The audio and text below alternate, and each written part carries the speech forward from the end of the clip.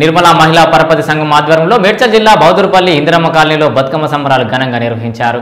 నిర్మల మహిళా పరపతి అధ్యక్షురాలు టీపీసీసీ అధికార ప్రతినిధి సంధ్యారెడ్డి తెలంగాణ మహిళల హక్కుల వేదిక అధ్యక్షురాలు కళారేఖ ముక్తల ప్రముఖ కవి విశ్లేషకులు పిఎన్ మూర్తి మహిళలు బతుకమ్మ సంబరాల్లో పాల్గొన్నారు.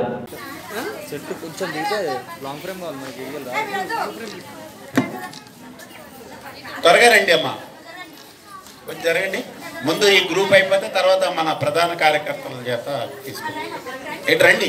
మీరు చప్పట్లు పట్టండి